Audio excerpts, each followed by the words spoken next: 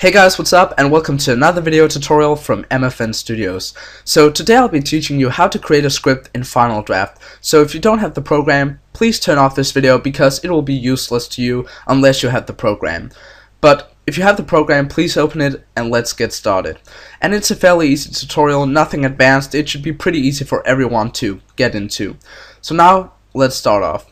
And as you can see if you open up the program, we have the untitled screenplay right here.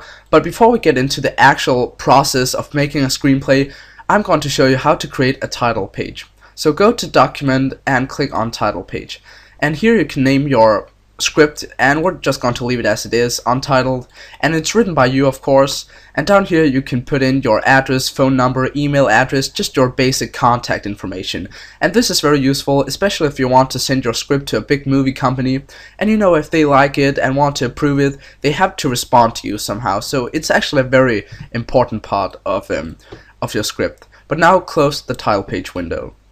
And let's start the script so the thing we're going to use to create your script is this little tab up here called set elements. And as you can see it says scene heading. So go ahead and click on the little arrow right here that points down. And here we have all the basic tools that will help you create your script. And these are the only things we're going to use in this tutorial. So go ahead click on scene heading and let's create a scene. And it's going to take place outside exterior and it's going to take place on the street and it's going to take place during the night. Like that. And now the program automatically assumes that you want to create action because it's the beginning of the scene. And that seems pretty obvious as well. But now let's try to create action. So we're going to write something like uh, a woman and a man are walking down a dark and lonely alley. Something like that. It sounds pretty spooky pretty cool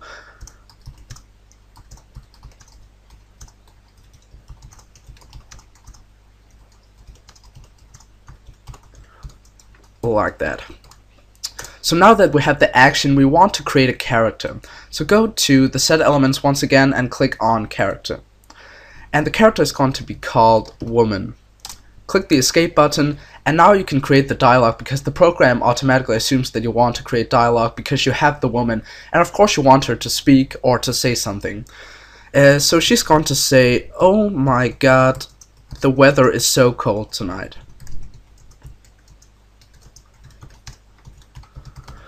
And there we go. And in order to express emotions, if you want the woman to say, oh my god, the weather is so cold tonight, in a very, like, irritated and frustrated way, you can try to click escape and go to the set elements once again, and you can click on parenthetical. And now just click um, irritated, frustrated.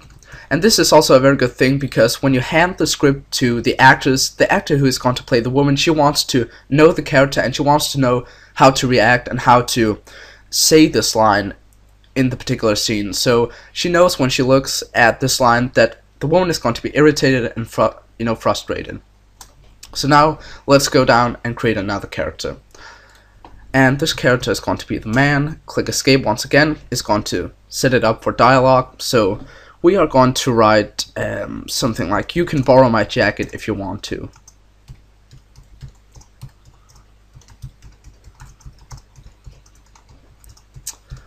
There we go.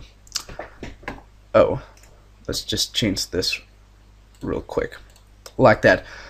So now press the escape button and Another thing we can do is you can go to set elements and create a shot. And this is basically just to describe how the scene is going to work technically. It's like telling, you know, it, it pretty much gives away itself because shot is basically how the camera is supposed to work, how it's supposed to move from one place to another, and how the lighting is going to be in that particular scene. So, uh, and it's very useful for the crew and the people behind the camera, especially the cinematographer and the light people. So just type in something like the camera slides away from the characters. Like that.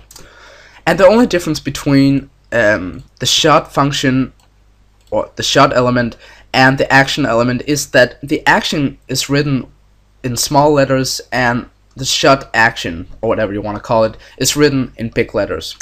So now press the um, escape button once again, go to set elements, and now you can create a transition between two scenes. Now it's not necessary, but you can do it. And usually you want to do something like, you want to put in something like fade to black or cut to, we're just going to use fade to black.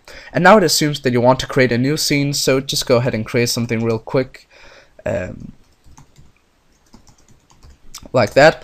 So these are the basics of how to create your script and you can do this scene by scene by using these tools uh, in the set elements. So yeah, that was all I had to show you guys today. I really hope you enjoyed this video. Please rate, comment, and subscribe if you like this video, of course. And feel free to ask any questions. Uh, I will answer as quickly as possible, I promise. And also feel free to request a video tutorial, uh, and I'll try to put it up on YouTube. If I can make it, of course. Uh, and if I know anything about the subject you request. But that was all for today, so thank you for watching, thank you for listening, and I'll see you guys next time in another video.